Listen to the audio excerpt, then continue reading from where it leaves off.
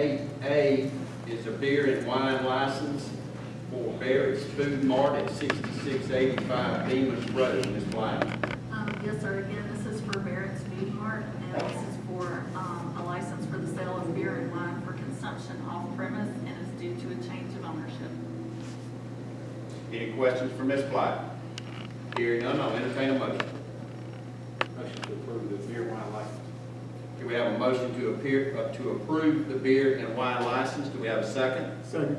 We have a second, any discussion? Hearing none, I'll call the vote, all in favor signify by aye. Aye. Any opposed, like sign. Hearing none, the motion carries.